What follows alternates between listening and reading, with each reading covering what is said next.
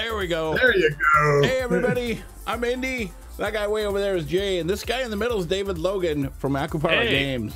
Akupara Games. And we're here Our- to talk about, Bright and early show. yeah, the Bright and Early Show. We're here to talk about publisher stuff. Why you should get So- a publisher, etc., etc., etc.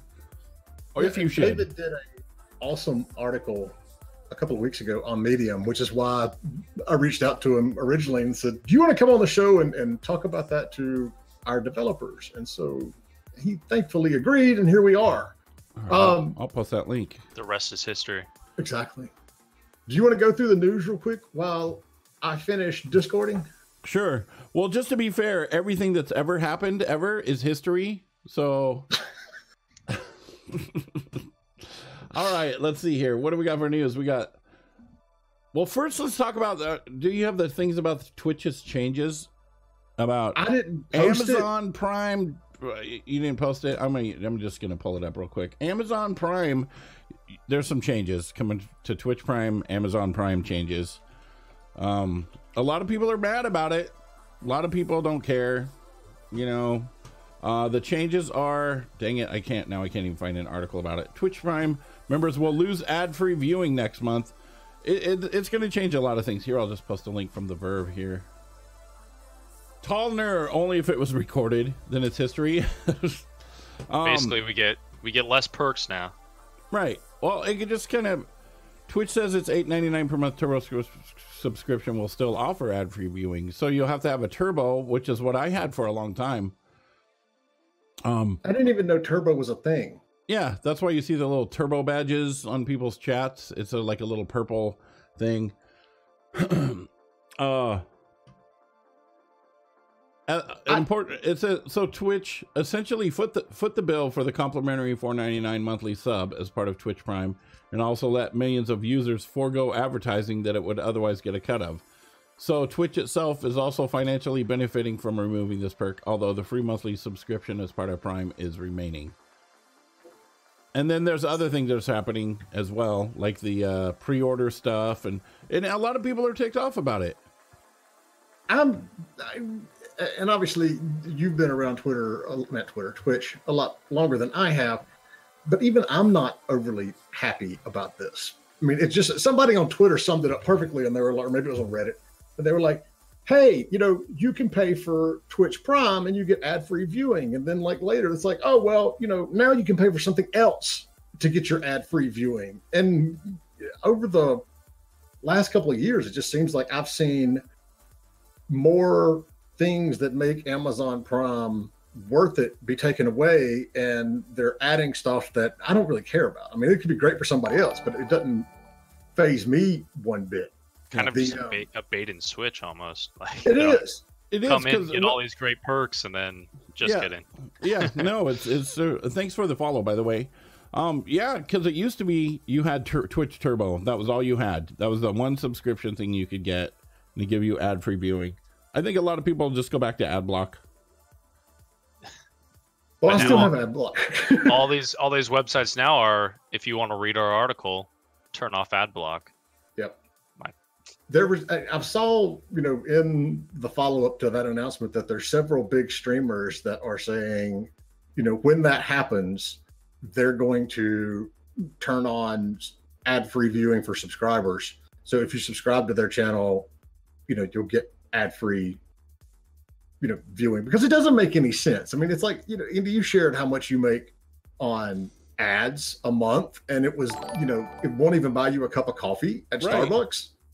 Right. So where's all this, you know, new revenue for you know indie teams coming from? It's like I don't think it is. I don't Right. think there's any it's just Twitch wanting to, you know, get more money. Right. I mean, my my channels is not huge by comparison. I mean, eh, but I mean, like the other night, I had 300 viewers, and then sometimes I'll have like 40.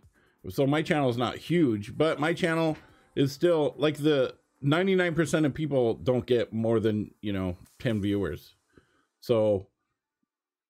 And and as much as I I like I was sharing with Jay, I've made like four dollars in ads. I don't run ads during the stream. It just automatically does pre rolls and post rolls. So it's like how much money is that really? That they are what what's I just wonder what the benefit is because it's I don't I don't use Amazon Prime, so I don't. I mean, I kind of don't have an opinion about it because it doesn't directly affect me, but I can see how people are pissed for sure. Are, are you on Prime, David?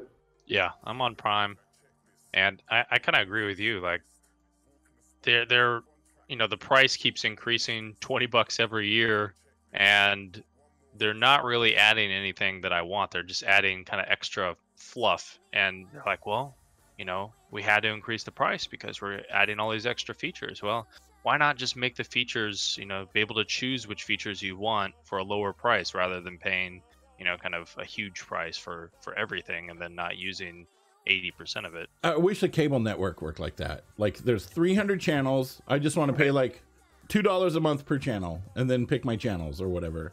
You know, I wish I wish it would be nice if it worked like that for sure. Cuz then is I might the, use Prime. Is the um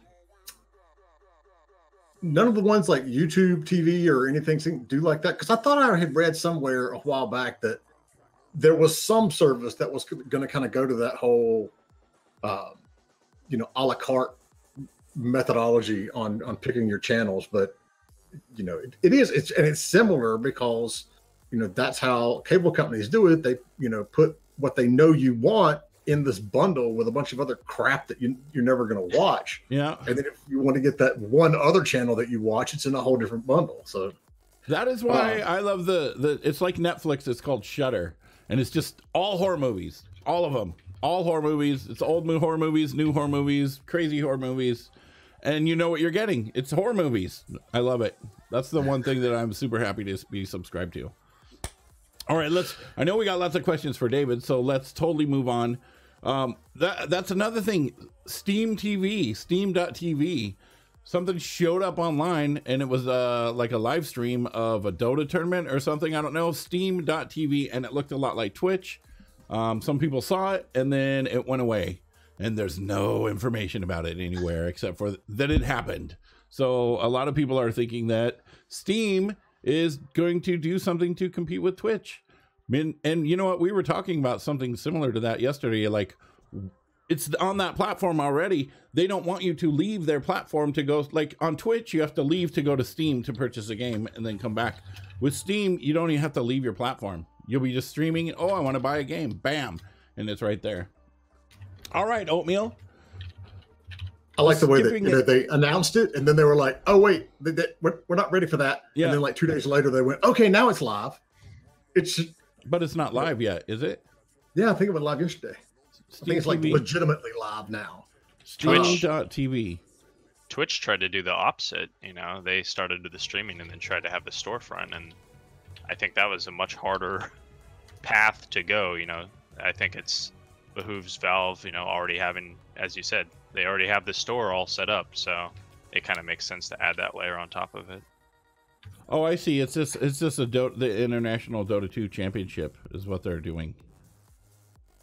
See, and I think this is more of Steam's lack of focus and them being reactionary instead of you know setting a setting of the precedent because they you know hold so much market share in the industry anyway I think they've just been able to sit it back on their laurels for too long, and now all this other stuff's going on, and they're like, "Oh crap, we have to catch up." And I, I, you know, I also imagine if that, if that is also like a result of Valve culture, because Valve culture is more like it's not like everybody had okay here's the projects we're working on people and and you work here and you work here. Valve culture is more like here's we're in a big ass room. Everybody has desks on wheels and if you want to work on a project or start a project, you just push your stuff over here with these people and say, "Hey, I'm going to work with you guys," and then and then work start working on a project. So and then it's like, "Oh, well, I'm tired of working on this. I'm going to go work on that," and you go work somewhere else. I mean, that's maybe that's why Half Life Three has been in production for 20 years or whatever. half, half, the team just left mid project. Yeah, they're like, I'm bored. Go work on something else. Yeah, no, see, and and that's just the way understanding I have of that, but that may or may not be accurate. It may just be my interpretation.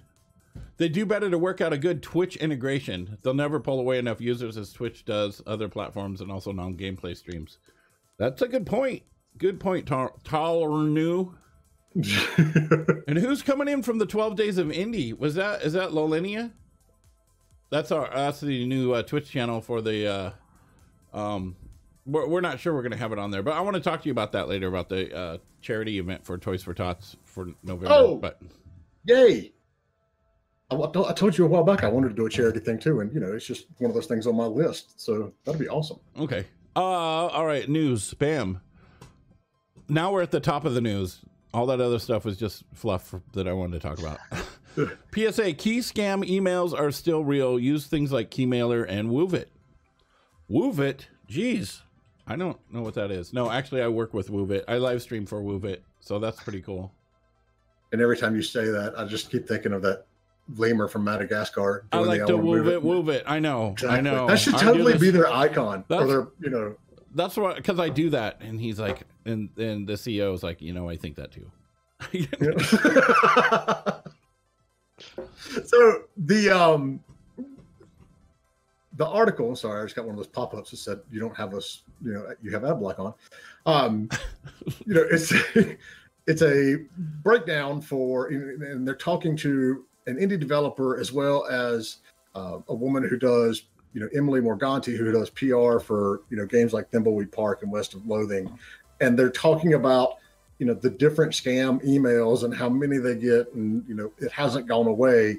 You know, it's one of those things that you don't have any control over. If you're releasing something, you're going to get these emails. Yeah. You know, it's another realization to, you know, use things like Keymailer or Woovit. I mean, what do you all use, David? I mean, how do y'all deal with this or just ignore them?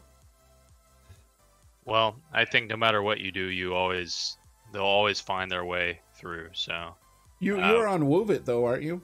Yeah, we're we're on Woovit. Um, we we've been using Indie Boost a little bit, and but we we still get just tons of emails through even our website form. So every time every time a new game you know shows up in the the coming soon for Steam store or you know goes out on you know Nintendo's you know new like upcoming games. You get an email saying, "Hi, I'm Man versus Game.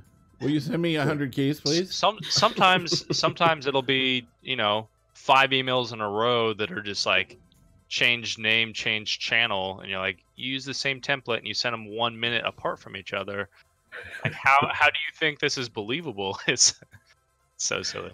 So the way that, I, what is what's a way for you that content cre- like if I'm a content creator and I want to I want you to uh, you know hey can you hook me up with a game key?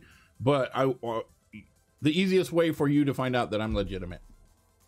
I think the easiest way is just you know credentials you know as much as possible. I know i know content creators will you know they'll put their contact email in their channel in their youtube channel or twitch channel. Um, that's the easiest way and then you just check to match that you know when you get the email from them that's the that's the easiest way and isn't us, it I so think. annoying when content creators don't put their email anywhere that it's easy to find it's crazy how many companies in general make it so difficult to to contact them. You're like, yeah. that's that's that's the point. Is we want to work with you, and you know you have to like go down this like Twitter rabbit hole to try to like get into their their inbox. I, I, tell content creators all the time. They're like, "Yeah, but I don't want spam." I'm like, "So make another email, dummy." I mean, because I do influencer outreach as well, and how many times I'm like, "Okay, I'll go to their Twitter." Nope, there's no email there. Oh, there's no email on their Twitch. Oh, I'm not on YouTube. Pass. You know, I really wanted to work with this guy, but I can't contact him, and I'm not gonna like do a Twitch whisper or any of that stuff. Yeah, and would you it, just spent ten minutes looking for their information. Would it be reasonable to provide 90 to 95 percent off coupons instead of key codes to content creators? Hi, Jesse. That's an interesting idea. My only concern is that you're still going to get content creators that are looking at it and they'll go, I've got an option of streaming two games. This one's going to cost me two ninety nine, and this one's going to cost me nothing, and they'll end up doing the one that cost them nothing. Right. I mean, what about just flat out saying on your website the only codes we give out are through Keymailer and Woovit and Indie Boost and you know all these other sites like that? yeah, that could be a solution, and then just ignore everything else, I guess. Needing to go through a payment process would deter a lot of a legitimate key requests. That's true, but as a content creator myself, honestly, I rarely ever have to buy a game. So it's like ingrained in me where I'm like, well, do I, am I gonna have to pay for this game? I'll just play something else, you know. You think There it'd be cool have for Steam? Okay. Um, weird. We I don't want to eat up all of this airtime for him. Okay, what do we got here? Props to a really old client. What is that? Starbreeze sets sales records in a quarter. Jay, what I say Yes. about drinking in the morning? I didn't drink yet. oh, Most dog. likely, I was in a hurry. I copy pasted this. I just worked, No, Starbreeze. No, no, I no, no. I was saying because I heard your dog. Oh no, that was yeah. That she, she's out like a light. Um, that back in the day, I think it was Starbreeze's first game, or it might have been their second game.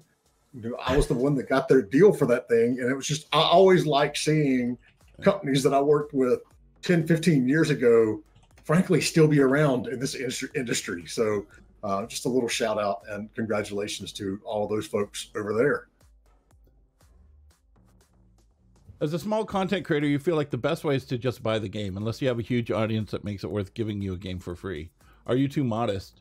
Um, I think even small content creators, you should sign up on Woovit. Even small, even, and I hate saying the word small content creator. Any size content creator should be able to, um, I I feel as a content creator to be able to get so, some games for free. You know, I'm not small. I'm viewer challenged. Yeah, I just I just don't like the term small streamers. Well, how about growing, growing content creator? There you go. You There know, you go. Yes, Because once you're like, oh, a small streamer, then you've like niched yourself into this mindset. Joke ignored. yes. Uh, It's just- That's what happens when I give him a you know a stream at nine in the morning his time. That's that's it's like you don't say you're poor, you say you're broke. You're in a temporary state that you're going to be getting out of, or yeah, I'm, I'm, cur- I'm, I'm, currently I'm working towards accumulating suc- wealth right now. current- yeah, I'm currently working towards success. Oh, okay, what's the other one? Uh, analysts, more players are making um, in-app purchases with less nudging from marketers. Yeah, this I saw this this morning, and it is you know this is one of those news bite that is geared very much towards the free to pay, free to play publisher and developer. But it's interesting in that you're seeing we're seeing an uptick in purchases, you know, in-app purchases, but it's taking less marketing to you know get that. So they're saying you know 13.4% of mobile game players complete an in-app purchase. And that's a 67% increase you know from last year. And so if you're one of these indie devs that's sitting out there going oh we're going to make a free to play you know game because that's what they all have to be pay attention to that. Only 13% of the people that download your game are going to buy it. It's brutal. Don't do it.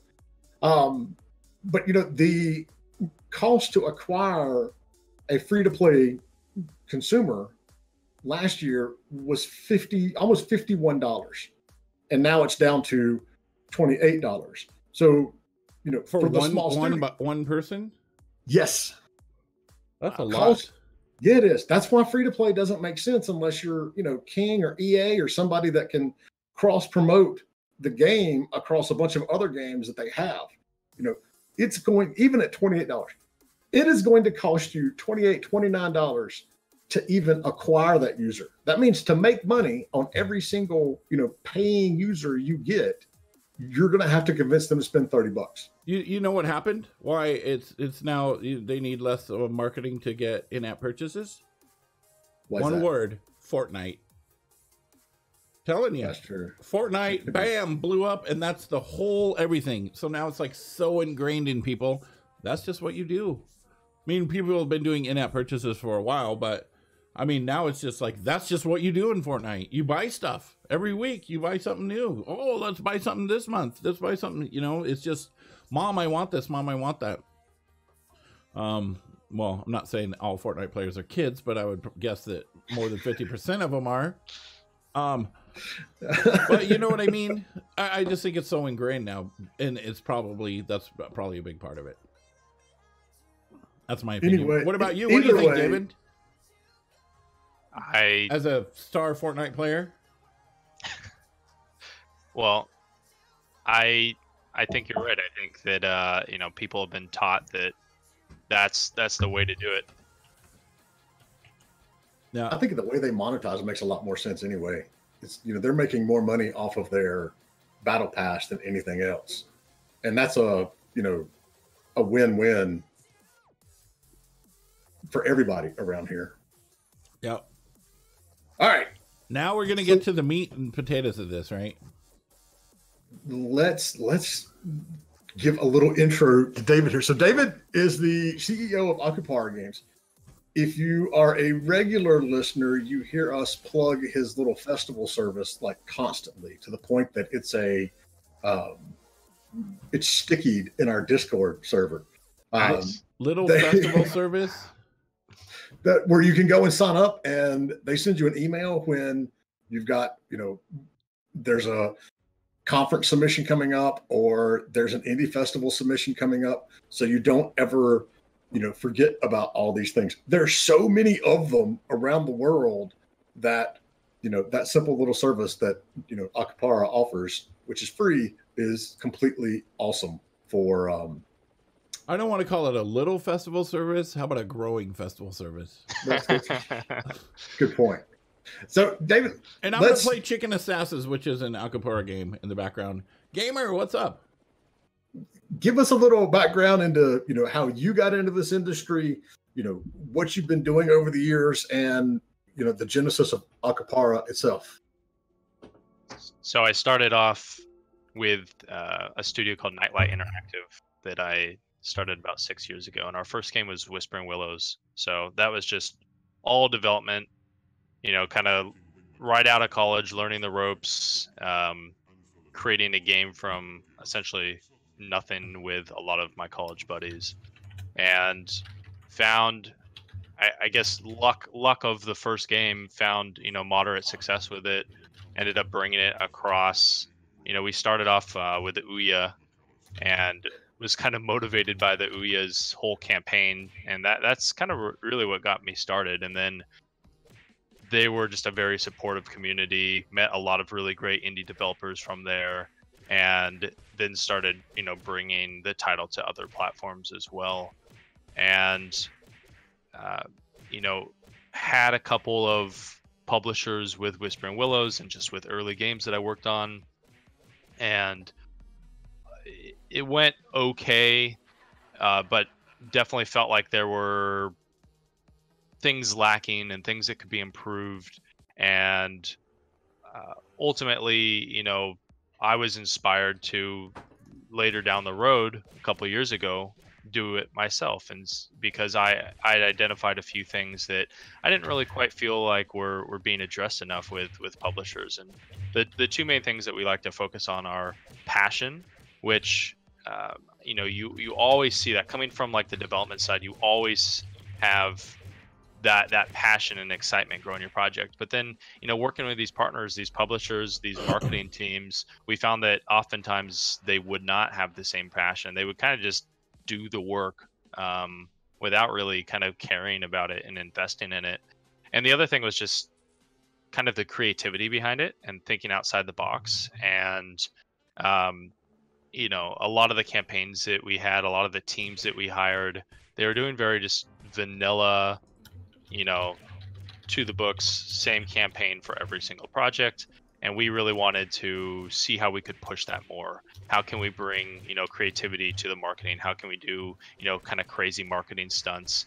And you know stuff that will get attention and you know when we go to a convention how do we you know even as like a small or let's say a growing uh, publisher how, how, how, do we how do we bring more uh, more eyes you know to our space when we're competing with you know like at E3 with you know large AAA studios so that that's been kind of our main focus now. As, how, how do you do those kind of like big promotions with like because it's indie games, so it's a, there's a much lower budget.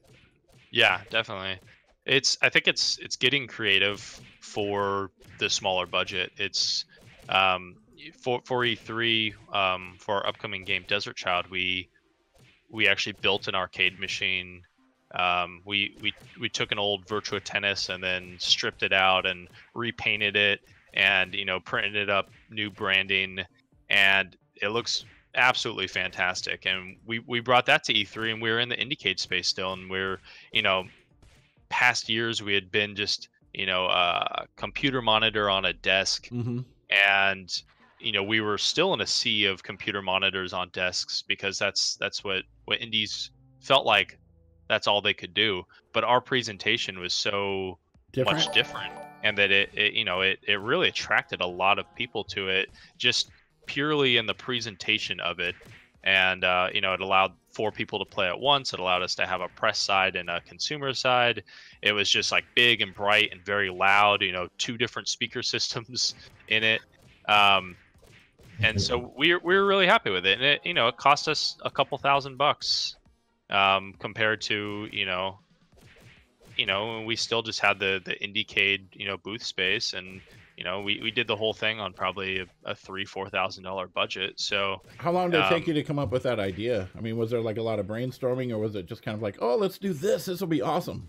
I, I think the idea came pretty quick and then the effort took a lot of time it was it was about three or four months on and off of just like on our weekends and our on our nights like ah now we have to paint it now you know arcade machines take a lot of different skill sets you know you have Right. woodworking you have you know you have to do painting you have to do graphic design you have to do electrical you have to know you just have to we ended up having you know metalworking we had to get a bunch of different kinds of people to to work on it but um despite all of it you know and my how stressed i got at certain points it was definitely worth it uh and it, it definitely made a, a huge impact and it was probably our strongest like convention showing yet. So that's kind of the mindset we like to go into you know especially with conventions when there's going to be tons of eyes but even just you know when we're running a campaign in general it's how can we get creative? How can we do something for maybe the same amount of effort but you know take take a chance on you know st- we we still you know we'll do traditional press outreach we'll still do influencer outreach we'll still do kind of all the bread and butter but then you know what's like 25% of our budget or 25% of our effort that we can put towards trying new things? And maybe it works maybe it doesn't work but at least you have like some creative element to it so.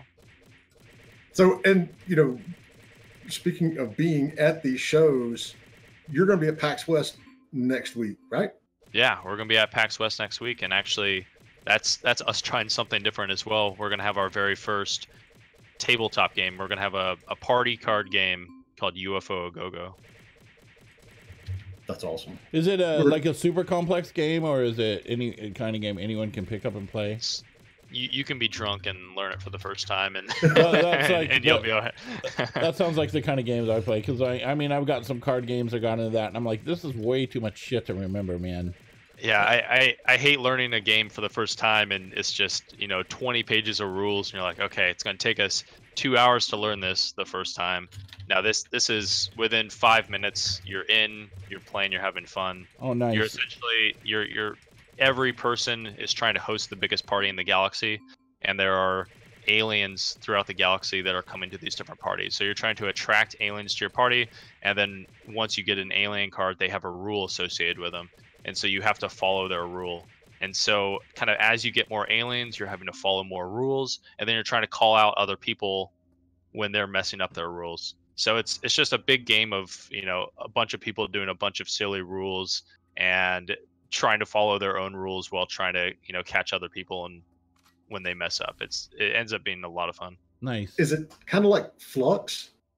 Yeah, it, in a sense, uh, de- definitely took some inspiration from Fluxx as well. Thanks so much for the host.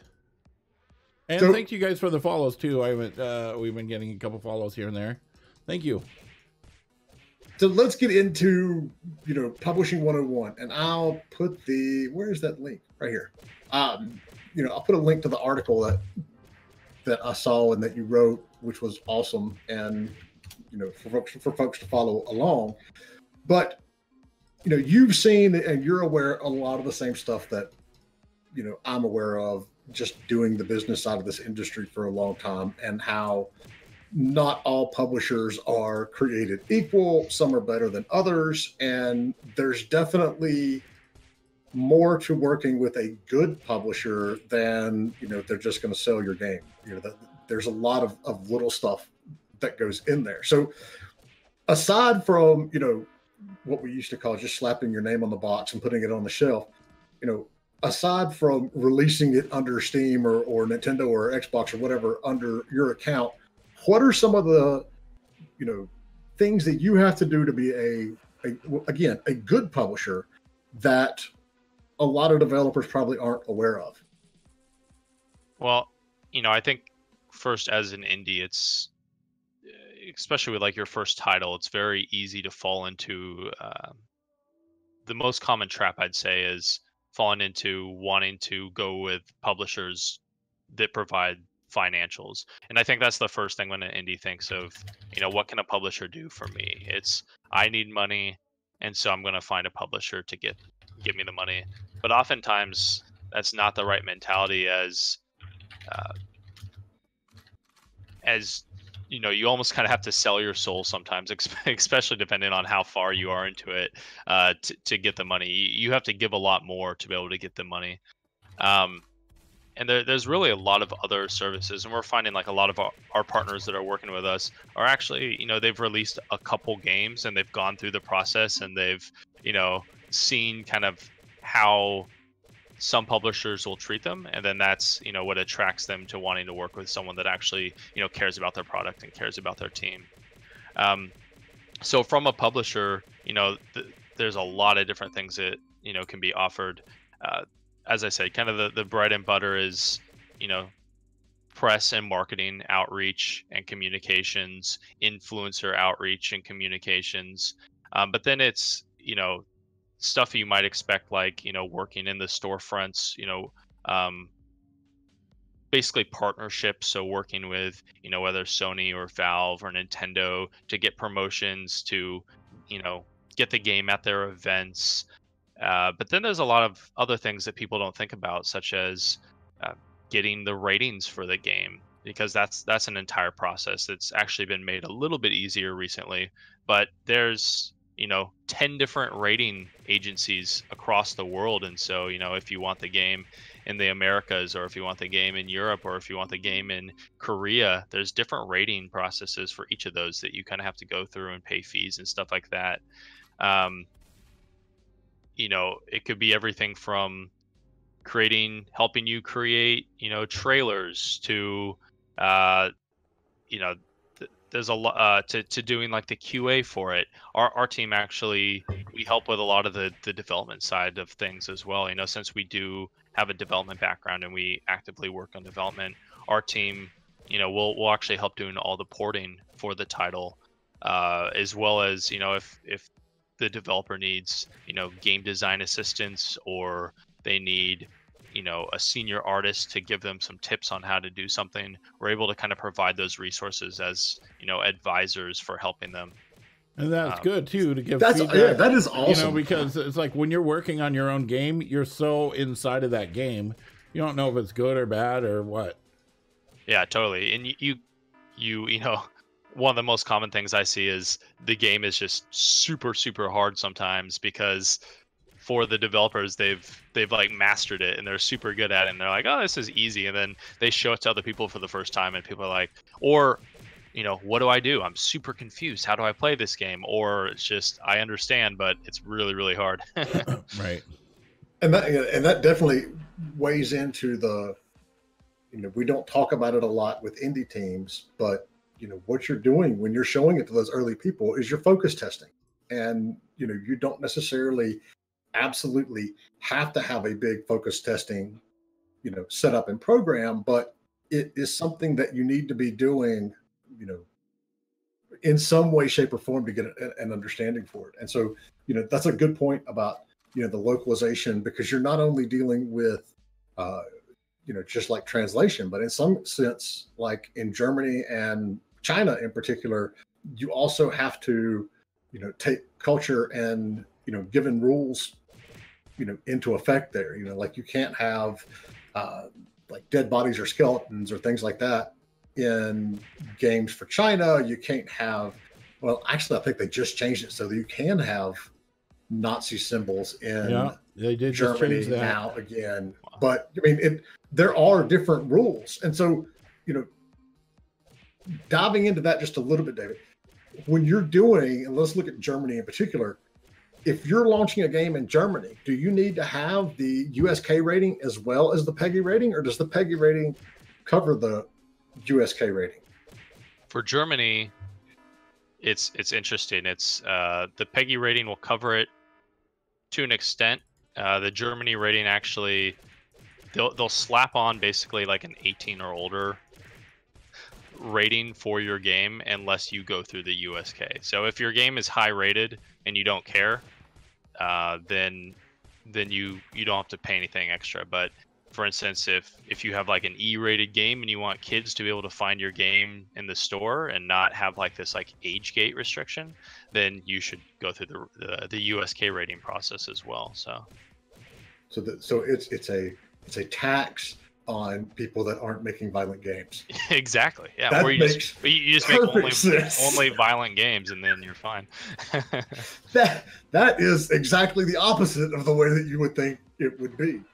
Um, so I mean, yeah, I mean, those are are different sort of thing, but it is good. All right, so going back to the advisor part, and you know, like welcome to the show and, and how we do tangents and go off on multi like threads here. That is something that I can't speak highly enough of. Because you know, yeah, it is like both you said, you get so pigeonholed into your game and it's like oh well yeah of course i knew to like run right at the first level. That's what we always do. But you know people that aren't you know as involved in it you know may not have that same understanding. And, and the fact that you've got you know folks that you can help advise along the way with things like art or code or you know resources that you can internally as a developer you know put on to help these teams is that's fantastic and, and it's not something that a lot of companies do And and in addition to just the advising, you know, I think it's also very helpful. A good publisher will help take the game to lots of events. Uh, will help take it. You know, we even have taken games to like classrooms uh, of you know college game design students or high school game design students. Just putting it in front of a lot of faces, um, and especially being a, you know being a developer I remember being at my very first convention and seeing people play the game. That's the best way to learn. That's the best way, you know, just hundreds of people over the course of a couple days playing your game. Like, where do 75% of them fail at? You know, what are you know what are people getting confused and you know, uh, it's it's really invaluable. the um all right so we got questions here relating to nazis um Gamer was talking So- about the Southern flag. Well, yeah it's- it's- steam steam is the one that got rid of the of the rebel flag that wasn't a in germany showing anything of nazi symbolism anything you know the the salute whatever that was a national law it wasn't even a game law i mean it was something that you couldn't do per the german government um Apple removed Ste- Confederate flag from games. yeah, the, the when Apple when all the when all the you know, southern flags got removed from the games, that was all platform specific. That wasn't, you know, coming down from from Washington D.C. Um, and, and it's not really a, just a, it doesn't mean the Southern United States. That flag. no, it doesn't. That's a whole. As someone who's grown up in the South, that's a whole different tangent of Yeah. why I'm not a fan of that flag. Um, anyway, so when you're doing, you know, distribution, what do you think? I mean, where do you see the most bang for your buck in terms of, you know, PC stores that you need to be on? And then the follow up to that is, what are you? What do you think about Discord's new announcement? so still steam is d- despite you know some of the the decisions they've made steam is still the biggest by far they are i don't know 80% if i were to guess of the sales for a lot of our games uh, for for our pc uh, titles um, maybe even more maybe even closer to like 85 or 90% the the second one that, that it's a little bit actually probably the most difficult PC store to get on is GOG, and Really? they they Yeah. they they really have kind of a a curated kind of game that they want. You know, they're looking for strategy games, RPG games. They they they know their audience and they want games that really appeal to that kind of audience. So we've actually had a few games rejected from GOG. Uh, but GOG, the audience that they have, knows that they're getting kind of this curated service, and so they they are very active in terms of buying and the games that we do have on GOG sell very very well. Um, you know, also they they want like DRM free games and stuff like that. And then I would say the third right now is is Humble. Um, Humble does you know their their store their their store is third. Their their bundles are actually even better. They're they're the best spot for any kind of bundles. Um, you know, by like 10 times, you know, bigger than any other bundle that we've been on and making money from. So those those are kind of the big 3 right now. So where do you think Discord's going to fall in that? I I think definitely Discord's going to be able to compete with it. I think you know, we use Discord all the time already. It's kind of become for a lot of indie developers, and I see it more and more every day. People starting their own Discords. It's the hub for all of your your community and the gamers that are with you. It's like And- a, a, a new forums.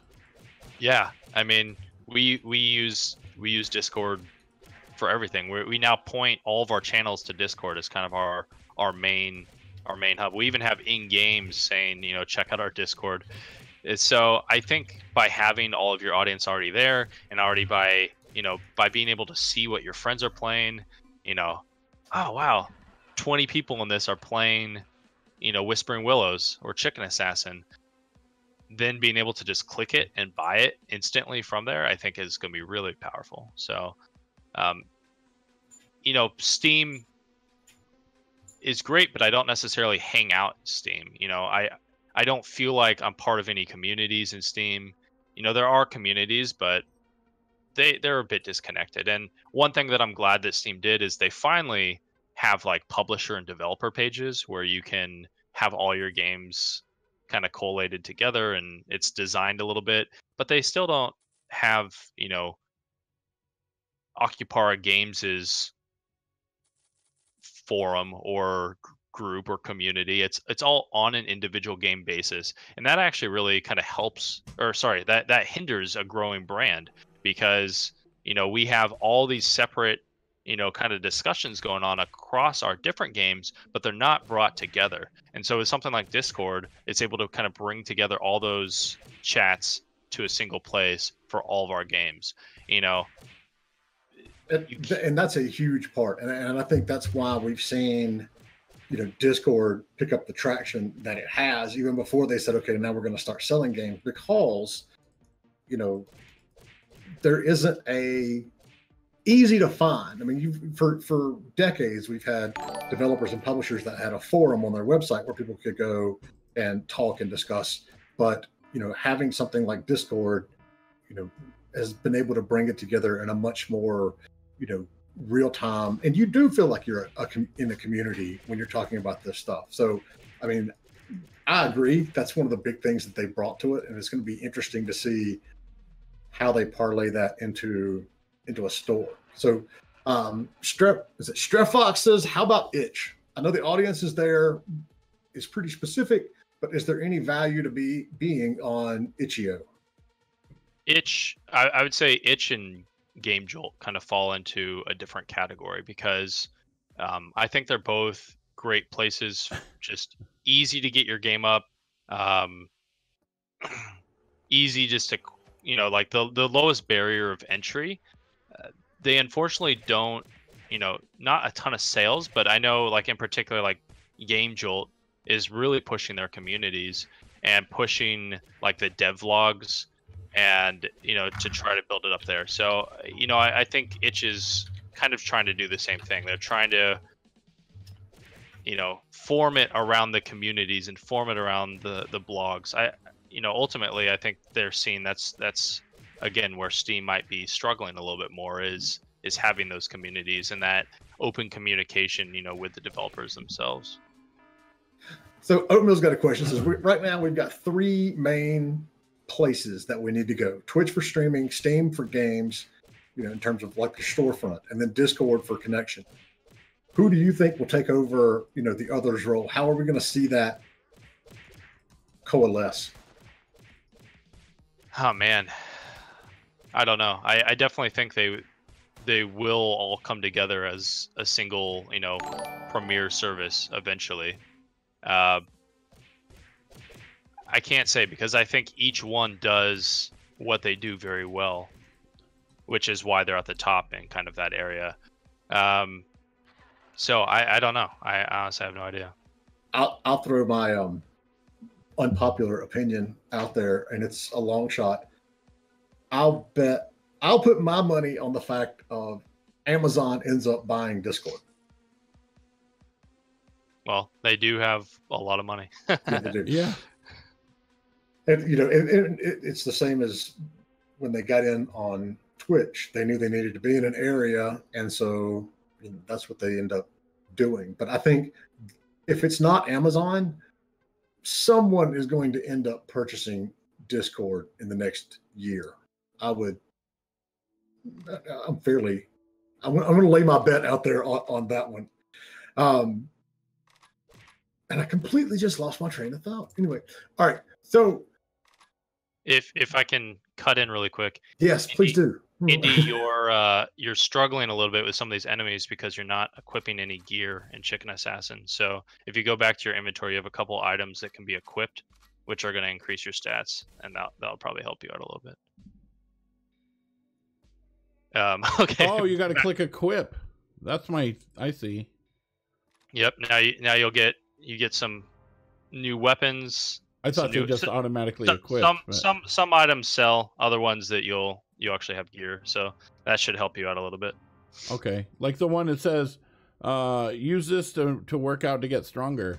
But uh, or and then there was one that was a potion, Yes, some of them like are this just one right here. Make these like so that doesn't even do anything. I'll just say. nah. That's that's just money. I just thought that like the cops that would come in, they would not want to not hit me as much or something. No, but now now your stats should be increased a little bit, and that should make things a little bit easier for you. Sweet, thanks. So, David, let's talk about IP for a second. And I know that you know your stance, and, and frankly, the same advice I would give as well is unless there's a ton of money on the table, don't as a developer don't sell your IP when you're you're working with a publisher. Um, Yeah.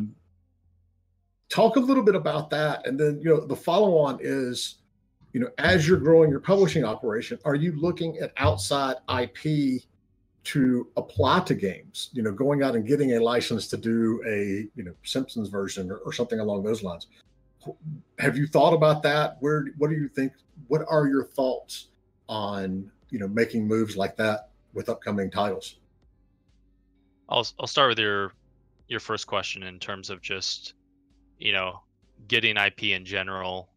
Um, I I think for for indies, you know, I, IP is definitely super valuable, uh, and in the past, it was important, but now I feel like in the last year, I've been approached by many places, uh, especially being like in LA and you know that that are wanting to find game IP. Game IP is kind of becoming like the hot new untapped market. You know, it was comic books a little bit before, and now it's it's like what what awesome game IP can we target for you know TV shows, for movies, for you know a web series, for anything like that. And so, you know, we're actually in talks for several of our games and games. You know, we're we're representing. Uh, we've we've started the conversations for them for you know getting merch deals or you know TV show deals or stuff like that. So I think being able to have all those cards still in your hand is very important, and uh, you know don't don't just give it up to the publisher just because you know make sure that there's like a very good reason because you know once once you pass on those rights, you know they're going to be the ones that are going to be making you know all the money off of, of off of you know the the various outlets that can take it. I still think as a publisher, it's good to help you know make those connections for the developers working with you so that they have as many opportunities as they can and you know ultimately like if the developer and the game is is getting on more places that's just going to help the video game sales as well um, then in in terms of working with outside ip i we've done it a little bit. Generally, it's been in more of like a work for hire situation where they're just paying us to create the game for them. I think, you know, definitely as an indie, one of the hardest things is getting exposure. And so by working with an outside IP, you're automatically associating yourself with a brand that, uh, you know, is well known, that has an audience. It, it saves a little bit of the leg room in terms of you having to kind of establish that stuff yourself. The the one unfortunate part is a lot of the times those places, you know, uh, those those larger entertainment studios that you know might be licensing the IP, they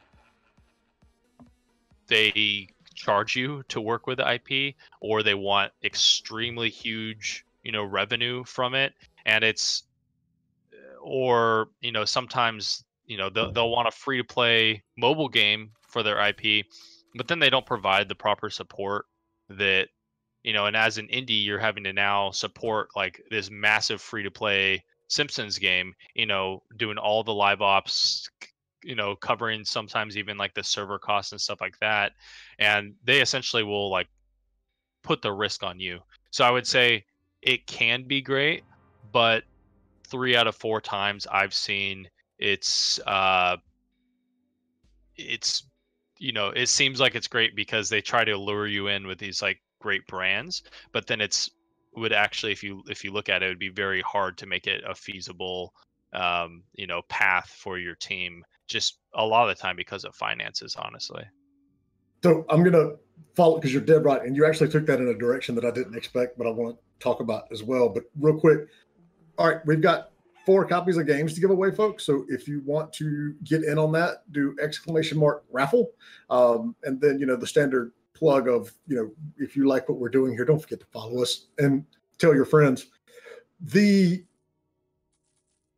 we've definitely and, and I've been working with IP for 20 years. And so going back to, you know, Douglas Adams' work on games that we did way back in the 90s, there has absolutely been a change. And I think one of the biggest triggers was when THQ went under. You know, THQ was known for they're the ones that did all of these kids games. I mean, there's a ton of licensed, you know, content. Even did uh, a SeaWorld title. At that point, a lot of developers and publishers started saying, you know what, I'm not going to give you a million dollars just to use your name on my game anymore. We need to start rethink this. And it started this conversion to, you know, the point where we are now, where not only, you know, do developers and publishers alike need to look at IP as a joint effort. I mean, there's a absolutely strong case for saying, you know, no money needs to change hands at all up front. You know, if, if it's a good partnership and everybody's doing their job, both the game and the IP are, you know, supporting one another. Yep. But then we've also seen, you know, somebody mentioned Angry Birds. Was Angry Birds the first one that just, you know, licensed the living crap out of it? Or, you know, they're the ones that got everybody else looking for it. And now you're seeing things, you know, like you said, with merchandise and you know TV shows and options and all of this, you know, coming to, you know, developers. I mean, you've got uh, Epic out there who's represented by William Morris when it comes to, you know, different IPs and things. I mean, different ways of licensing Fortnite into the rest of the world. I mean, you know, the the Angry Birds model was fantastic because you could get anything from a a t-shirt to you know sheets to your bed and toothbrushes and everything had angry birds on it but you know you need to as the the game creator, whether that's the developer or the publisher, you absolutely have to look at these IPs, you know, in terms of are you going to support me? You know, just like you said, you know, and that's always one of the first questions that we have to, you know, licensors when they come to us and say, Hey, we want to, you know, work with this game. I'm like, okay, so what are you going to do to promote it? Or, you know, if it's a game that wants to use their IP, the same question, you know, still exists. If and I had a guy come to us like a year ago and said, All right, you know, we're going to do this and we want to sell the right. We have the IP to like some 80s action movies. And I'm not going to, you know, go into who it was, but I said, okay.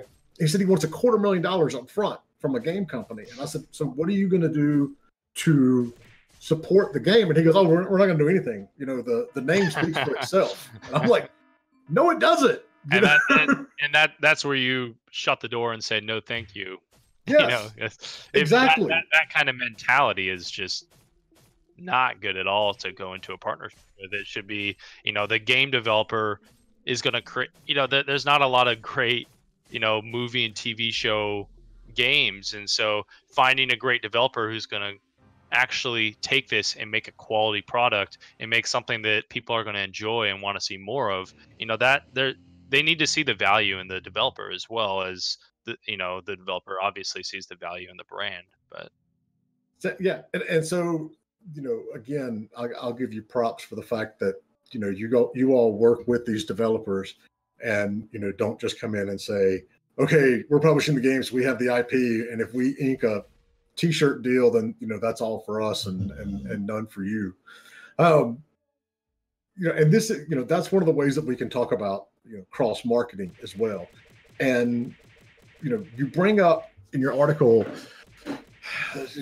distribution, not necessarily distribution, but I'll call it peripherals, you know, where you know nvidia may have a special promo to get your game included on you know the new version of the shield or logitech may be doing something with one of their their keyboards or mice talk a little bit about you know the value of doing that for one and then how you all look at each opportunity and see if it's it's a good fit for you know the company and the game to go and pursue that.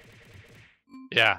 Um, one of the main things I focus on in the company is is partnerships, and that's not only with distributors, but as you said, with with like Logitech, with Nvidia, with you know hardware partnerships, software partnerships. You know, Unity, Game Maker. You know, whoever whoever promotes games. You know, I like to have strong relationships with because uh, you know a lot of the times these companies even even nintendo sony you know um, they all have their their marketing agendas. The stuff that they want to see from the game uh, or the stuff that they want to see from the company that they want to be successful.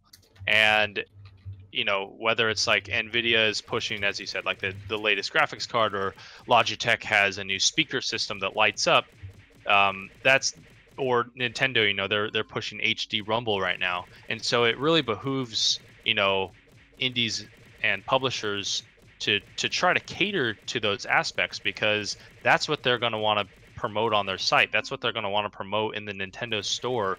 You know, they why would they promote a game on the Nintendo store that doesn't take advantage of any of the Nintendo hardware. But if you can take advantage of HD Rumble and you can take care, you know, advantage of uh, you know, being able to play the Switch on the go, then that's stuff that they're going to want to talk about in their their commercials and their you know uh, in their press releases and you know stuff like that. So I always look for the opportunities um, with with the partnerships. I always you know when I go into a meeting, especially for the first time, but even you know every year at GDC I meet with every partner that we have, and one of my first questions is, what are you looking for right now?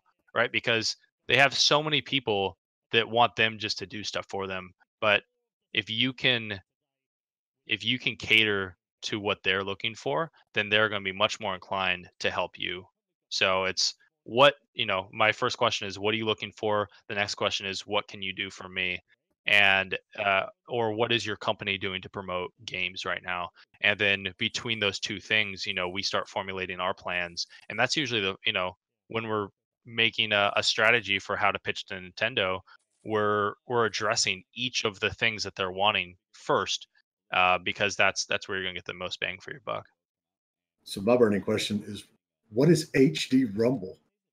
So the Switch has the most advanced rumble out of like any controller um, in the in the Joy Cons, and uh, it actually allows you to, you know, standard controllers just essentially shake. It's shake hard or shake soft, and or some degree in the middle. Um, you know, a dial one to ten. But with the Switch, you can actually feel stuff like a marble rolling around and it feels like you can actually feel the weight of the marble going back and forth and coming towards you and going away from you you can feel stuff like water that it feels like there's water inside the controller because it's like a bunch of little vibrations all around oh, it wow. um it's Seriously, really, what game is this in? well that's that's part of it like you know so for for whispering willows uh we're going to be doing an upcoming switch launch and we're we integrated hd rumble in the game and so it's when you're around good ghosts it's going to vibrate differently than when you're around bad ghosts and as you get closer to the ghosts it's going to be more intense but we have different different patterns of vibration for different kinds of elements in the game and it's that kind of thing that i think really excites them. It's you know you got to use their technology and you got to you know create the coolest thing you can with it. There's another game i saw that you know the whole game was about rolling around and so you know tilting back and forth. And so that was perfect for hd rumble because uh, the whole game is basically taking advantage of the hd rumble So is, is it All like right. a, a new custom controller or is it just the standard? it's it's the controllers joy cons basically so it's their standard controllers yeah but then i think the i think the pro controller has the hd rumble in it also All right, so Andy, can you get a press release that you know we just had our very first exclusive news announcement before anybody else in the whole world, you know, here on the show? Because Exclusive. I knew news. about I knew about Whispering Willows. We- they we was can like, we like haven't the- announced it yet. Don't say anything. And I'm like, I- okay. I- I wanted- Whispering Willow hipsters. I wanted to give you guys the anecdote even though it spoiled the news so no we no one, no, no one say anything yet we'll be announcing in a couple of weeks we're, we're gonna break this wide open. You know, um, it does. So you know, along those lines, real quickly, you know, that's awesome. Congrats. And but they didn't include you on their announcement the other day. Was that? Are they gonna? Was there a specific reason for it, or we we just we haven't even fully communicated it to nintendo yet so that'll Okay. be we're gonna be working with their marketing team probably this week so awesome? And so you know, what you're talking about is something that folks, a lot of companies don't realize, and it's been going on for years. I mean, even years ago with iTunes, and you know, everybody's like, "How do I get featured?" The easiest way to get featured on iTunes, you know, and it's still true, is to be supporting something that they haven't launched yet, which you know puts you in the catch twenty two of well, I don't work with them very closely. How do I know what they're going to launch? Well, you know, welcome to the industry. But you know, the companies that were supporting like Retina before it launched were the ones that were featured at the big, you know, Apple conference and, and Totally. all the news and, and all that kind of good stuff. So, you know, it does go back to partnership building, which goes back into your biz dev and and all of that sort of stuff. And you know, like you said, David, I mean, that's a that's what you do. That is your job. And you know, with our consulting firm, that's my job is to constantly be out there, you know, talking to people, understanding what's important, you know, whether they're a publisher, a developer, or a service provider, and you know, thinking through how to best help them with that solution, you know, because you know, even as a developer going to a publisher, I love, you know, what you said there, you know, if you're shopping it, talk, ask the pub- publisher, what are you looking for right now? You know, it may not be their game, but it may be, they may be in the hunt for something that you've been thinking about doing in the background anyway, and you can get a, a good partnership out of that. So yeah, I mean, that's like super, super good advice. I Um, mean, that kind of advice goes a lot good with like sponsors as well. You know, you're reaching out to maybe you want to sponsor for whatever. I'm talking about live streamers that you want to sponsor. Um, instead of just saying, What can you do for me? You approach them as like, Here's what I can do for you. You know, I really like your product or whatever. Here's what I can do for you. Then how can you help me out? It's it's really you want them to know that you can do something for them first, and that goes uh, uh, along the lines of a lot of different things. T- totally. And a lot of the times it's, you know, implementing. You, you don't have to make always your entire game revolving around this particular feature. A lot of times it's fairly low hanging fruit in terms of how you could provide something for them and then in turn you you really do get some major promotional like logitech we we work very closely logitech and logitech sponsored half the parts in the arcade machine that we made for desert child and in turn we made a lot of the you know we used their their speakers which lit up we used you know we we promoted them by putting their logo you know front and center on the machine itself. And so you know by us doing just those you know few small things it allowed us to get a couple thousand dollars worth of hardware. So uh, really incredible sometimes you know what you can accomplish just by you know how do you cut through the crowd you know if if everyone's asking for stuff and so it's hey i'm going to ask for stuff but i'm also going to do something in return for you. And it really it really makes an impact. Logitech is an easy company to work with, though, for sure. yeah they're They're fantastic. Super helpful. and, and, and and it really is. And a lot of people don't realize how little it takes. I mean i remember back in the day we were going to e3 and i can't remember if it was logitech or thrustmaster. Is thrustmaster even still around? Anyway one of them sent this form to all of the you know exhibitors at e3 and they're like hey, if you'll put a little sign, and it was like a little thing like you'd see at a restaurant, just a folded piece of plastic that said, you know, provided by whoever it was. And they were like, check the list on what you need for your show. Well, I mean, I checked every single box on there because I'm like, there's no way this is there's no way this is legitimate.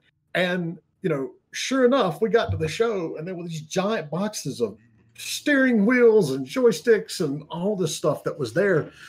These companies, you know, they need games that support them as well. And so that's one of the best kinds of relationships you can get in.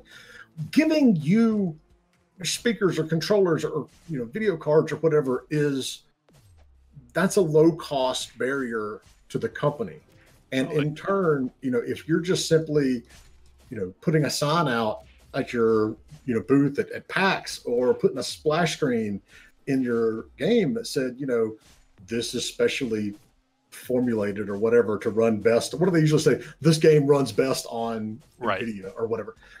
That's not you know complicated. You know that's not really hard. Right. you're not having to go do a lot of work and it, it works out very very well. So Yeah, we, we even we even take it to you know uh, partnerships with other indie developers, and you know each indie developer has their own communities forming. But when you can cross promote between other indie developers, then you can help. Like, there's no reason. that There's not you know so few games that like you know or you're you, you, a developer's not creating so many games that they need to like control the entire market like there's a there's enough to share the audiences right and when you can kind of hey let's put this character from our ip into your game and put a character from your game into uh, you know our our game it makes the audiences interested in purchasing those other titles and it it really helps kind of spread spread the communities up and so I, I really like that about indie developers in general it's just that they've always been super willing to like let's help each other out. It's it's you know it's not the you know i've heard horror stories from like you know actors in la that you know everyone's always trying to backstab each other and trying to like make their way to the top of the the hollywood like food chain but with indie developers it's it's all about like working together and, and doing things as a team so i i really respect that Toleroo, Hey, thank you for the sub. Yes. Exactly and and we had Nice sub button. um, Heather from Failbetter Games on was it last week or two weeks ago talking about you know exactly that. You know they did their Love Indies campaign not only to promote their upcoming games, but to try to get a bit of a movement behind you know everything and, and have teams cross promoting each other because it is. I mean, it's we're not in a situation where you know, if you're making an adventure game, you have to like, you know, start guarding your corner and going, we got to knock out all the competitors to our adventure game. The industry's massive. You know? yeah, and, so- people are going to buy more than one game. exactly. Totally. Exactly. So yeah, that, I mean that's that's awesome. So you know we're getting here towards the end. So folks, if you haven't entered the raffle yet, do exclamation mark raffle. We're giving away some games. Um, Taller follow us. just- Tell your friends. Taller Nude just subbed. got Sub hype. the Thanks for the sub, dude. Taller Awesome. new. tar- Taller. I don't know how to say that. Taller. we're just call just call him T. T. Tal. Tal. We've got you know, and this is part you know where I'm supposed to be managing this, and and I suck at it. Remember we were talking about this, David. Uh, we've got our Discord, Twitter, all of that stuff is you know down below us. Uh, if you refresh, I actually did get rid of the um, promo that we were running last week because I completely forgot to before the show. Um, but also, we posted uh, David's Discord for their server, uh, and we've got a lot of their social media that I can throw out there as well. Uh, the most, you know, helpful one by all means is that one with their festival system that we talked about earlier. Um, but we'll put the rest of their uh, the rest of their information in there as well. If you've got questions, throw them up in chat. You know, we'll absolutely get to them. I So- got it. It's taller than you because he's six foot eight. He is taller than me. Ah, taller than you. that makes sense. the the festival thing was actually kind of goes along with what we are just talking about in terms of looking for opportunities. Um, I had used Promoter app for for years for uh, a bunch of things. You know, tracking. They had a, a way to track press from around the the web, but also they had this promoter calendar, which basically is what our festivals calendar is. And heard they were shutting down, and you know, reached out to the guy immediately and said, "Hey, can we take this over from you? Would you point the existing people that are, you know, going to yours to ours as like the new place?" And it was great. And within like two days of it shutting down, we had our version up, and we even added a couple more bells and whistles on top. But you know, I think I think it's just just like in game development, where you're always keeping an open mind and always looking for opportunities for like you know how do i create something awesome? It's the same thing when you're doing business. And i i take the same approach with marketing the same approach with with business relations. It's it's looking it's you know being creative. It's looking for opportunities. It's you know helping out other people. Um so yeah I, and it's it's been great. We we love having that and it's you know it's one of our team members a few hours a week and to upkeep it but because of us having that it's actually helped bring in you know a lot of traffic to our website and a lot of interest to our products so it's been a Yeah, great uh, as as a confession, I used to keep track of that internally here, and I've stopped doing it. Because I just said I was like, oh yeah, yeah, we got this, we got this thing coming up now. Because it is. There's so much going on that it, it is hard to keep track of it. But yeah, we actually the reason we endorse it is because I use it. that's Um, great thank you All right, so Lacey, yeah, 12 thank you for the of- host. 12 Days of Indie wants to know if they can play Chicken Assassin during 12 Days of Indie. So, Sure. Indy, can you tell us what that is real quick? Sure. Huh? What What is 12 Days of Indie? 12 Days of Indie is, uh, this will be the, what, sixth year Low Linear that we put it on? Lacia was actually part of it last year. Hey, let's. Um, sixth year. Yeah. Uh, it's a 12 day long marathon on my channel on twitch.tv slash indie where we raise money and awareness for Toys for Tots. that's awesome So we're so, I mean, always- not to put you on the spot or anything, David, but you know they want to play this when that when um yeah by Yeah, all it's well, ready means. I mean, we're always looking for sponsors for it, and uh, so that would be awesome to have uh, Akupara and uh, Indie Game Business as sponsors. I don't know, man. I'll have to let you talk to my agent. There's some pretty hefty fees for working with us. You know, Uh-huh. we've got such a such a huge following, and we're so influential. Um, but no, yes, of course, you know I'm in. That, that's Yeah. a that's a given. Um, that last thought. I mean, what? So here's always a good one. for- 50 page contract. it's GTFO. 49. It's not 50. We got rid of one of the page breaks. The um, what is your recommendation in terms of how developers need to, you know, present their game to you? And so, so let's let's flip this around and say, what are you looking for right now? You know, are you looking for new games? You know, what's the big thing that you're that you're in search of? And then how do you think? I mean, how do you recommend developers, you know, reach out to you?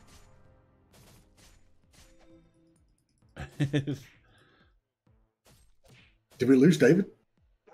yeah, he's frozen. We lost David. It reminds me of the uh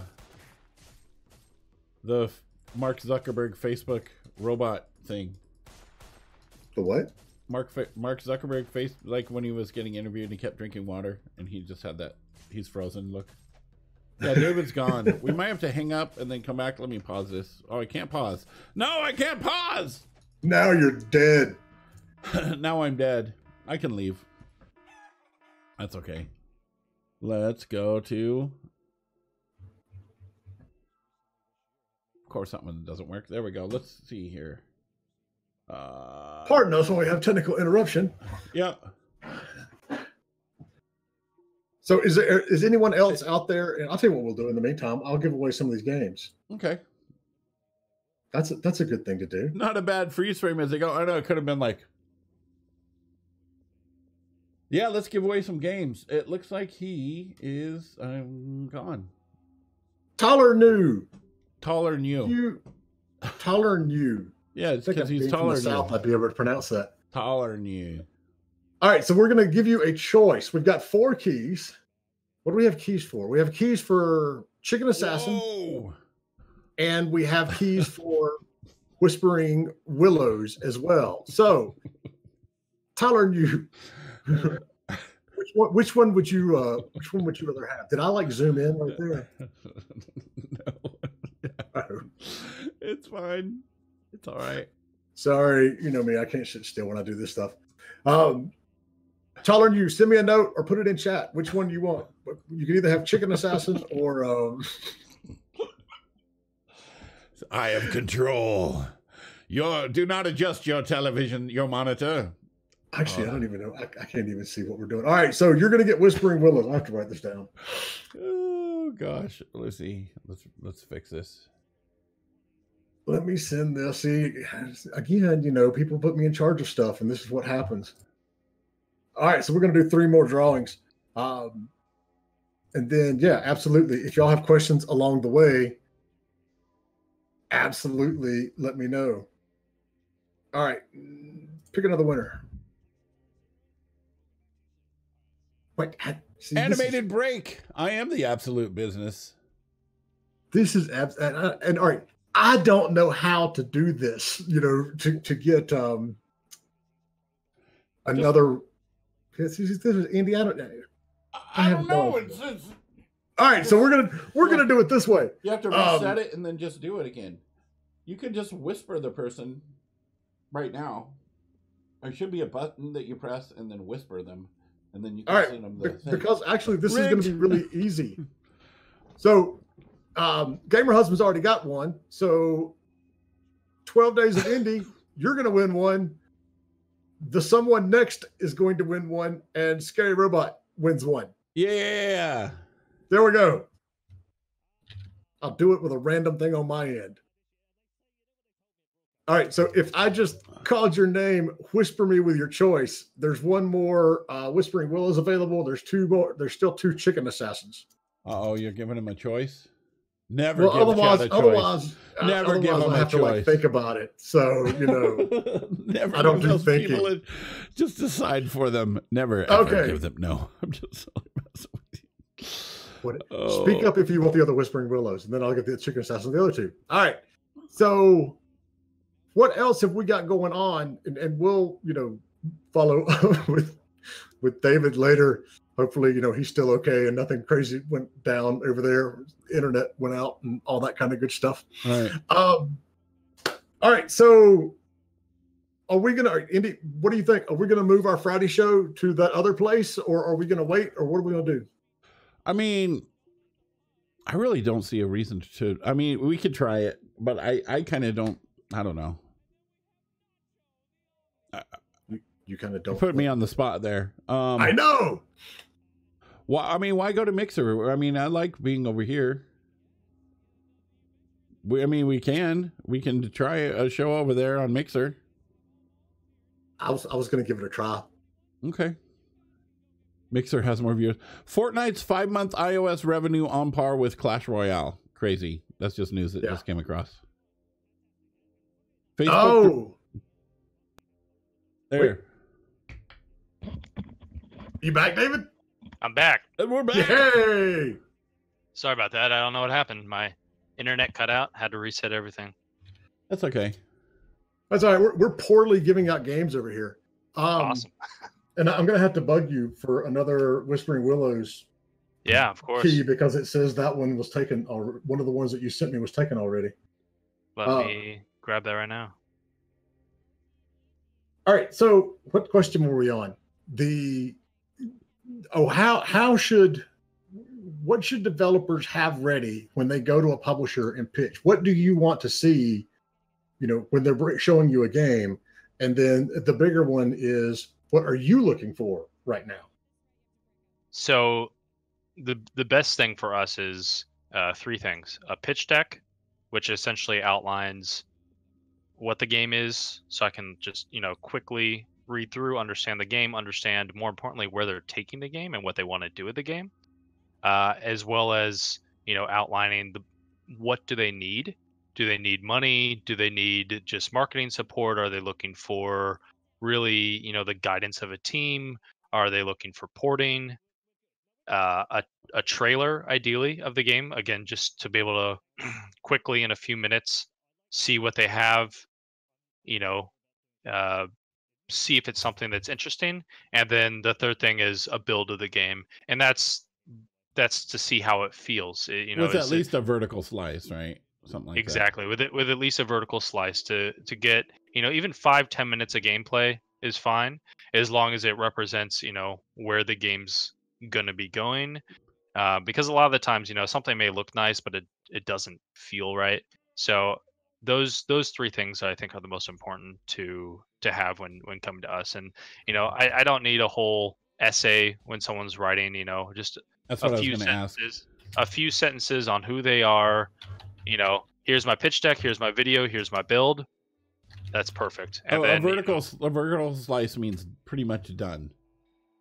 It doesn't necessarily mean pretty much done. Well, I mean, you know, it's a s- certain area, a specific specific part of the game, or a certain amount of the game, like a whole entire level that's done. I mean, it doesn't have to be one hundred percent done, but you don't want Yeah, to have but- a bunch of the- at placeholder stuff in at there. the 80 90 percent yeah, basically and uh, that's what I was going to ask about the pitch deck. Do you want like for the initial pitch deck? Do you want like something that is a fifteen page and super detailed, or do you just want like a three, four, five page, you know, spreadsheet that has not spreadsheet, but um doc that has you know some graphics and pictures and that kind of stuff. i'm i'm all about efficiency so uh, for me you know if it can be more concise then you know that that's even better but if it was long and it's but i can still get through it quickly you know like a bunch of pictures and stuff is fine So you don't If want a whole novel. if it's 20 20 pages of reading you know i'm not going to do that you know even even as a, a a growing publisher we we have a lot of a lot of people that submit games to us each week and i can only imagine you know some of the the larger more established you know publishers have just i'm sure they get flooded like hundreds a week. So you know it's almost like job applications. It's how can you boil down you know what you want to present eh, so you can get that point across as quickly as possible uh, and most efficiently as possible. It's kind of like um as an animator your demo reel should be like your very very best shot first and then everything that else is awesome and then your second best shot last Yep. you want to wow but them in the beginning no no more than wa- two minutes yeah. you know you, you you want it concise and because you're only as you know you're only as good as your worst piece totally that's it so you can have something completely awesome and then if you have something crap in the middle in you no matter how awesome the last thing is that's how that's where you're going to be judged at is your worst thing and i would imagine it's the same thing with a pitch deck you want to Totally. wow them and then have a bunch of cool stuff and then wow them at the end make a you want it because you know if you get let's say five or ten a day, um, you want you want to be the one that's remembered out of all those. And if you're Yep. pitching a bigger publisher, uh, a a really big publisher, um, they probably get a lot, so it's hard to wow them. Well, I mean, we saw the article last week from Jagex. They've just now started publishing, and he said they've already looked through a hundred games. I mean, so it is extremely competitive. And so when you have the stuff, you know, when- you're putting your package together to send out, I mean, we what I always tell developers is publishers are looking for a reason to say no. I mean, maybe not literally, but you know, if there's, you know, one or two little things in your proposal that are, you know, red flags that the next guy doesn't have, you know, you're going to get tossed. I mean, so and you- it could be simple. It could be like um like uh, let's say you're you're listing things and you capitalize every single word except for there's one where you didn't capitalize everything. That's kind of like, well, they they didn't take enough attention to detail to check that. Exactly. I mean, and, and attention to detail is, is one of the easier things that Mm. you know it's it's you can screw up on basically, and and that goes both ways. I mean, we've had publishers that you know started working with developers, and, and we say it when we talk about contract negotiations. You know, if the attention to detail is not there early on, or you know, it's super hard to negotiate with his publisher and it's contentious on the contract, it ain't going to get better. Grammar know, matters. so- yeah, it, it's just like I would imagine if you're reading like a 15 page document from someone describing their game and it's super super detailed. The thought of a publisher is like, oh my god, I'm not sure I want to work with this person because if It's this is how they're going to think, yeah, it's, it takes a lot of energy. So you have to when you're writing a proposal or whatever it is that you're doing like that, you have to think from their perspective. Like, um, you know, I'm sure it's like, okay, it's the beginning of the day. We get to look through proposals. And then after two hours in, you're like, okay, I just want this to be over. Everything looks the same. So you, you really want to stand out and you really want to be the bam. Just That- notice we have why- the glasses Power Rangers here. Who's red? That, that's why I like just a nice, even you know, one to two minute, either trailer or even just showing different parts of the gameplay really fast. Because you know, the build will always be the the third thing I'll check out. And if if I like the pitch deck and I like the video, then I'll play the game to see if it feels good and if it if it works well. But first, just you know, a video is super quick. I, I can take five minutes of time to quickly skim through the pitch deck and watch this video and see if it kind of grabs my interest. we actually have a i have to dig up the link because it was in our old links thing it's not in the new one uh, we put together an infographic of what you need to have in your pitch deck as a developer um, but i have no idea oh i know where to find that link. So what are you what are you looking for right now david? What are you what are you on the hunt for as a publisher?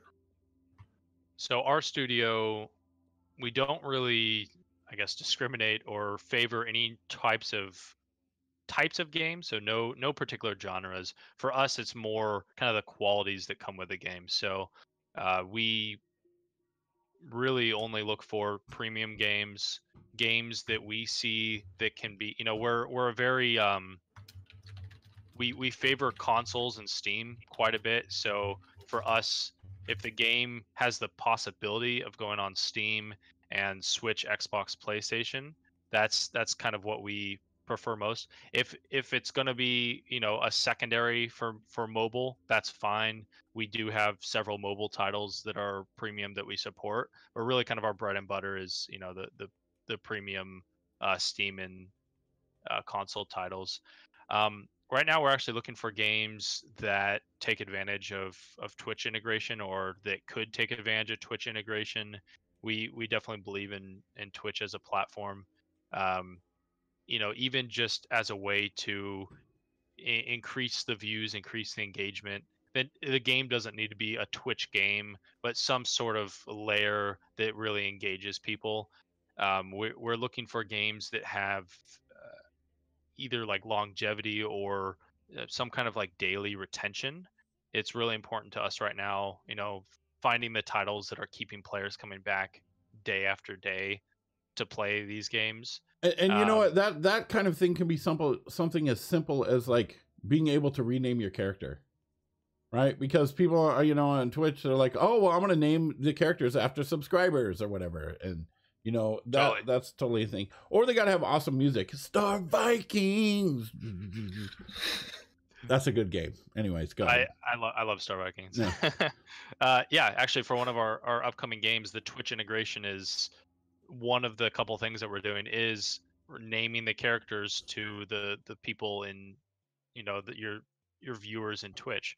Um, it, it makes people feel more involved. It makes people more engaged. And then if you can do some kind of like drops, you know, for the them as well, you know, that's great. Or uh, I even love you know Twitch extensions that are uh, you know add an overlay to the game and allow the, them to interact with it in some kind of way or at least like you know if they're playing i love like the hearthstone you know extension where you can actually see the cards in the player's deck i think stuff like that's really cool for for viewers um we love screwing over streamers. Yeah. so Well- tho- those are kind of the main things that we're we're looking for right now it's it's longevity it's being able to you know and, and i guess strong ip is important even though we don't take over any of the ip being able to find opportunities you know if if unfortunately if even stuff like uh if the game isn't a custom engine it really closes a lot of doors in terms of like what kind of support you can get from other places because like Logitech is not going to necess- necessarily have a plugin that's going to support you know your your custom engine. But if you're developing the game in unity that opens up a ton of doors not only with unity but also with all the the partners that kind of integrate with unity so Wait, I'm mid thought here. Uh, it does. All right. So when you're talking about the daily retention, and that's one of the ways that you know the industry has evolved over the last like four or five years. You know that used to be something that was just totally exclusively in mobile games, and now we're seeing you know the games as a service, meaning premium games too. And so the most recent thing I can think of is uh, we had Megacrit on a couple of weeks ago, and in Yeah. The in Slay the Spire, there's a daily run that you i've been do. playing it i play it every single day the daily run on slay the spire The only way, the only time awesome. I've actually ever beaten it was on one of the daily runs. Um, so yeah, I mean, it- it's things like that that you know you really can't just tack on at the end as well. You know, when you're developing it, you can't. And I will say this: you cannot, in today's market, have the mentality that you're going to release your game and then you're done with maybe some patches. If you're not thinking about, you know, live ops, you know, it doesn't necessarily have to be a team of 50 people, you know, creating content and you know twitching around the different um, variables in your in, in-app purchases even things like daily quest you absolutely have to be you know thinking about this stuff Yeah, and they're they- they're a fantastic example because they even, you know, every week they have a patch that adds new stuff. It's rebalancing stuff. It's adding new cards. It's giving me as a player a reason to go back because I want to see the changes that they make every week. Yep. all right i'm up against i got got my alarm that i have a, a meeting to go to Okay. um so if there's any other questions toss them out right now you know if not uh david thank you so much for coming on the show. Uh, i'm getting ready to flood chat with all of your you know info. Um but yeah i mean it, awesome. I'm sorry. Yeah. I'm, I'm, I'm mentally shot at the moment. I got too much stuff going on. Um but you know there's all of you know there's your discord your twitch channel your twitter your facebook. Um All the out, everything's. You know they've got a wonderful thing going on in the fact that you know they're not only publishing games but they're actually you know actively helping you know the indie streams the indie you know ecosystem as well so Yeah, and we we still develop as well. So we yeah that's true thank you guys so much for having us. Thank, you. you Thanks, Andy, can taller you play us out Thank you. What? i said can you play us out Play us out. All right. Thank you guys so much for hanging out. We'll be. Well, I guess we'll be uh, here on Friday on, but we'll be on Mixer. Well, I don't know. We'll, we'll be here Friday because I'm, I'm already like too far thinking about something else. We'll be here on Friday. Okay. We may be looking into moving one show to Mixer later on. Right now, we're going to be here. Okay. Yeah, thank you guys for hanging out with us. Uh, I appreciate it. Thanks, David, and we'll see you later, Jay. Here's some music. Have fun. Bye, guys. you, everybody. One little question. Wait, we got one little question. Let's Oh. hear it. And and do you guys want to repost the the article as well? That might the publishing article that might help Yes. people as well. Yes, yes, I can do that. Does age matter for a publisher? What? No, in ter- in terms of the age of the developers, I I believe no. And, You know, the, it's important to always have maturity in terms of uh, people that you work with.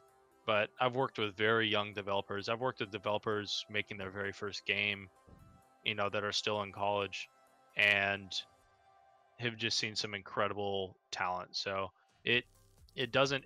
It's very low on my list of of priorities. Uh, you know it the the biggest thing i would say is you know younger people tend to uh not follow through with some of the stuff but if if the person is just a, a good genuine person that follows through on commitments and you know creates an awesome product it, it doesn't matter Good answer. Nice. So so be good is the answer. yeah be good Be good. All right, thank you guys. Thanks, everybody.